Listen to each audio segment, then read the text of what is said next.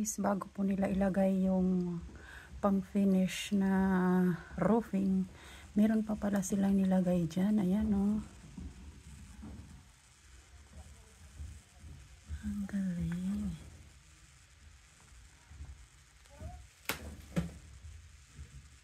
Bago nila ilagay yung mga nasa sako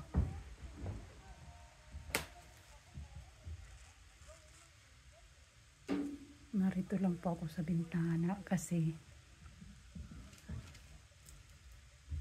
baby silang kunan.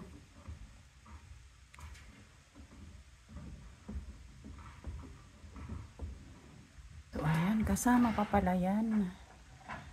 Kasama din yung gutter. Nag ano ng roof. Kasama pala yung gutter sa pag ano palit galing naman pero alam niyo po ba guys, ang mga bubong na yan, mga materials na yan, tumatagal kahit 20 to 50 years. Ayan. Kaya ma mabilis silang matapos.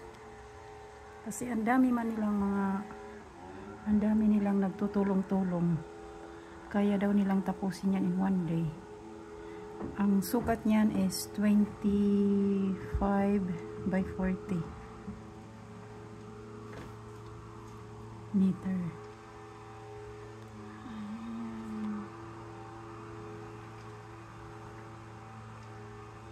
Daling-daling